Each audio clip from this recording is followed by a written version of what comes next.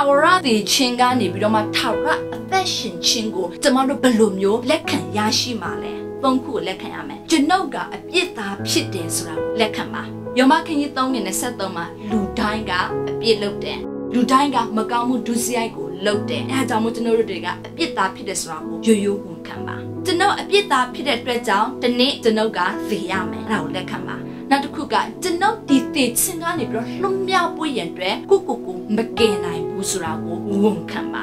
ယောဟန်ခရစ်ဆက်ငါငင်ငါမှာသခင်ခရစ်တော်မပါဘဲနဲ့ဒီထာဝရသေခြင်းကိုကိုကိုလွန်မြောက်အောင်မလုပ်နိုင်ဘူးကျွန်ုပ်ကအပြစ်သားဖြစ်တဲ့ကျွန်ုပ်အပြစ်လုပ်တဲ့ကြောင့်ဒီနေ့သေရမယ်ကျွန်ုပ်ကဒီသေဆန်ကနေပြီးတော့ကိုကိုကိုမကယ်တင်နိုင်ဘူးဆိုတာကိုရိုးရိုးလေးနဲ့ဝန်ခံပါဝန်ခံပြီးတဲ့အခါမှာအရာသုံးခုကိုယုံကြည်ပါနံပါတ်1သခင်ခရစ်တော်ဘုရားကကျွန်ုပ်အတွက်လာပြီးအသေးခံခဲ့တယ်ဆိုတာကိုယုံကြည်ပါခေပြခရင်နဲ့ငယ်ကိုမှာ သခင်ခရစ်တော်ဘုရားကလူသားတိုင်းအတွက်သေခြင်းကိုလာရောက်ပြီးတော့မြည်ဆန်ခဲ့တယ်နံပါတ်2သခင်ခရစ်တော်ဘုရားကကျွန်ုပ်ရဲ့အပြစ်ကိုခွင့်လို့ခဲ့တယ်ဆိုတာကိုယုံကြည်ပါတယောဟန်ခန်းကြီးတဲ့ငယ်ကိုမှာကျွန်တော်တို့အပြစ်များကိုဝန်ချတောင်းပန်မယ်ဆိုရင်ကျမတို့အပြစ်များကိုဘုရားသခင်ကခွင့်လွှတ်တာတော့မကောက်အကုန်လုံးမူပင်ကဲ့သို့စေကြောပေးမယ်ဆိုပြီးဂတိတော်ရှိတယ်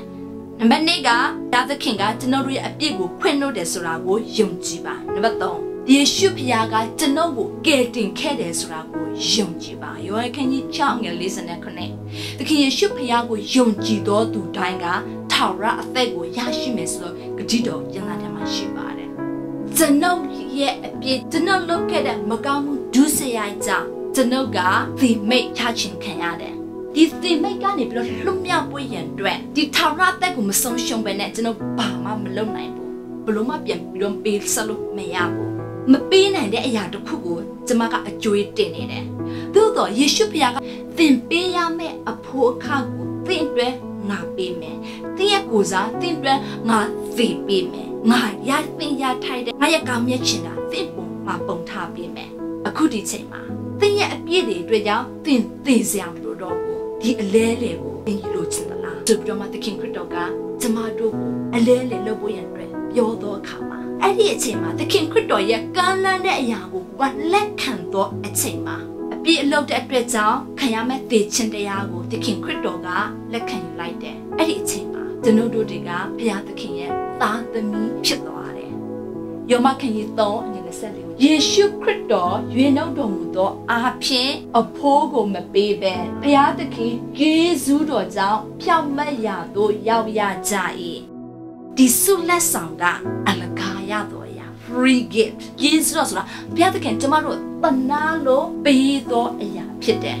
ဒီကတင်ချင်းဆိုတော့လက်ဆောင်ကိုရဖို့ရန်အတွက်ဘာမှမလုပ်နိုင်ဘူးယောမခင်ကြီး3ငွေ28မှာထို့ကြောင့်လူမီဒီကပညာတရားဤအကျင့်မရှိပဲယုံကြည်ခြင်းအပြင်ဖြောင့်မတ်ရာသို့ရောက်တတ်သည်ဟုယူရ၏ကတင်ချင်းကိုရဖို့ရန်အတွက်ဖြောင့်မတ်ခြင်းကတော့ရှိရမယ်ယုံကြည်ခြင်းအပြင်သခင်ခရစ်တော်ရဲ့ဖြောင့်မတ်ခြင်းကိုကျမတို့ရရှိတာ ယေရှုတော်ကြောင့်ကျွန်တော်တို့ရဲ့ဖြောင့်မတ်ခြင်းကိုသခင်ခရစ်တော်ရဲ့ဖြောင့်မတ်ခြင်းကိုကျွန်တော်တို့ရရှိတာ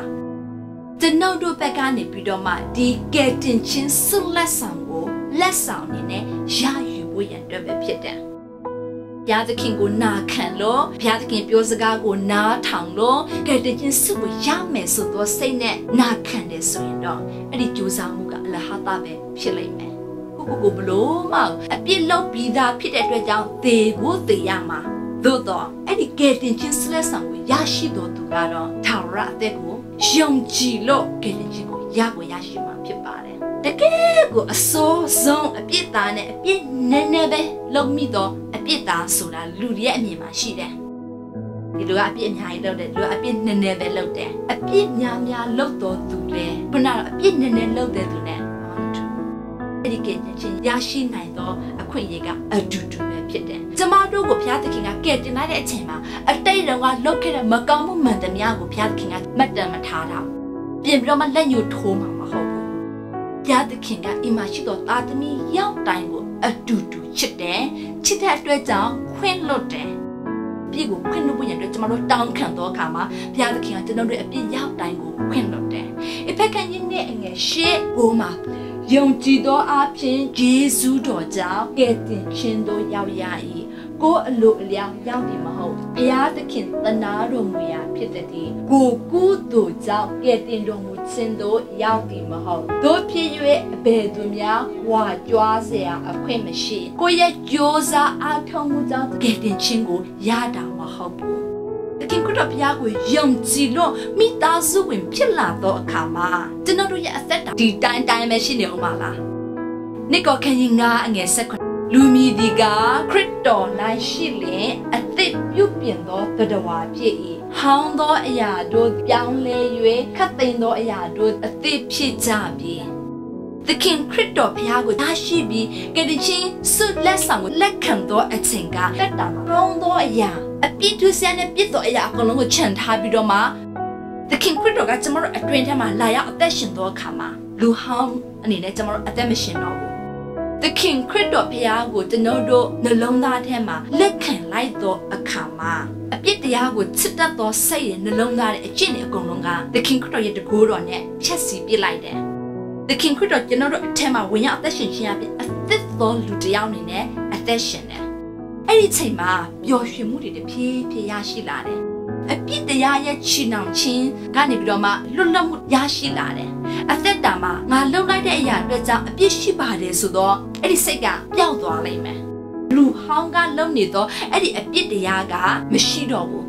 သခင်ခရစ်တော်ဖခင်နဲ့ကျမတို့တမနစ်အသက်ရှင်ခြင်းကြောင့်ရရှိသောပျော်ရွှင်မှုကစာဒမာနရဲ့ဒီမကောင်းဆိုးဝါးရဲ့ဂျုံအောက်မှာကျမတို့တစ်သက်လုံးရရှိမဲ့ပျော်ရွှင်မှုထက်ဆောင်လို့ရှိရင်အဲ့တမနစ်ကမှရရှိသောပျော်ရွှင်မှုကတကယ်ကိုဘာနဲ့မှလဲလှယ်လို့မရသောပျော်ရွှင်မှုဖြစ်တယ်လူတွေတော်တော်များများကသခင်ခရစ်တော်ဘုရားကိုလက်ခံဖို့ရန်အတွက်လူတွေအများကြီးချိန်ဆွဲကြတယ်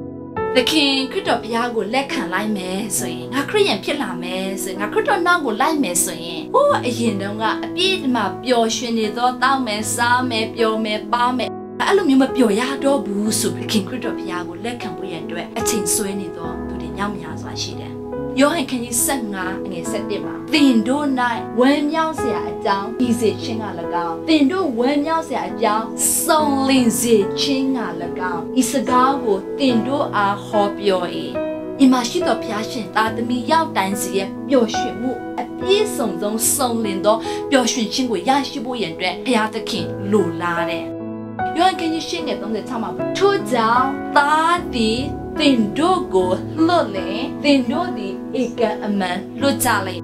အပြစ်တရားရဲ့ချီနှောင်ခြင်းကနေပြီးတော့မှသခင်ခရစ်တော်ဘုရားကကျွန်တော်တို့အပြစ်ကိုလွတ်တယ်ဆိုရင်တကယ်ပဲလွတ်မြောက်ခြင်းကိုခံစားရမှာဖြစ်ပါတယ်။ယောဟန်ခရစ်30ငယ်30မှာငါမူကားဘိုးတို့သည်အသက်လွတ်ယုံများမကအထူးသဖြင့်အသက်ဖြင့်ပြည့်စုံစေခြင်းကငါလာတဲ့အ သက်လွတ်မြောက်ဖို့ရန်အတွက်အသက်တစ်ခုကိုပေးချင်တာတော့မကသေးဘူးပြည့်စုံသောအသက်တာကိုသခင်ခရစ်တော်ဘုရားကကျွန်တော်တို့ကိုပေးချင်တယ်လူတွေတော်များများကခုနပြောသလိုပဲကျွန်တော်ခရိယန်ဖြစ်လာပြီဆိုရင်ဟိုလည်းမလုပ်ရဟိုလိုလည်းမစားရဟိုလိုလည်းမနေရဒီလိုမျိုးလည်းမပြောရဆိုပြီးတော့မှကိုကိုကိုအမြဲတမ်းချုပ်တီးနေရတဲ့အတွက်ကြောင့်တကယ်ကိုမပျော်ရွှင်တော့ဘူးလွတ်လပ်မှုမရှိဘူးဆိုပြီးတော့မှစိုးရိမ်ကြတယ်